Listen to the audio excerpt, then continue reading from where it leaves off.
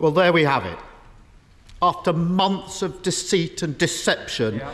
the pathetic spectacle of a man who's run out of road. Yeah. His defence, his defence that he didn't realise he was at a party.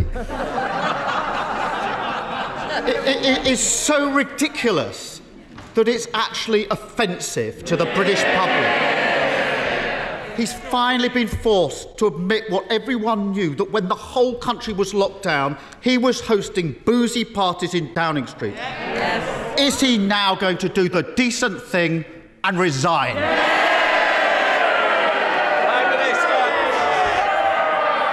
Well, uh, Mr. Speaker, it, it is. Hancock went. I think somebody will be going for an early cup of tea as well. Can I just say, the question's been asked. I want to know the answer. Your constituents want to know the answer. I don't need any extra help either. So please, Prime Minister.